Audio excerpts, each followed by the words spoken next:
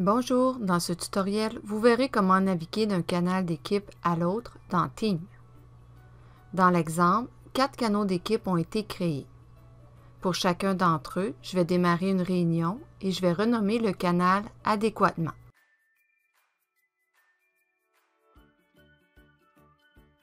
Ensuite, je rejoins la réunion et je réduis la fenêtre.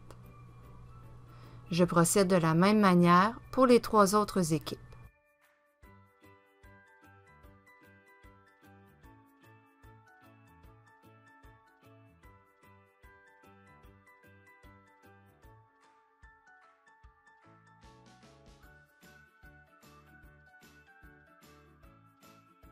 Une fois terminé, j'appuie simultanément sur la touche Alt et Tabulation ou les doubles flèches pour passer d'un onglet à l'autre, comme dans la démonstration.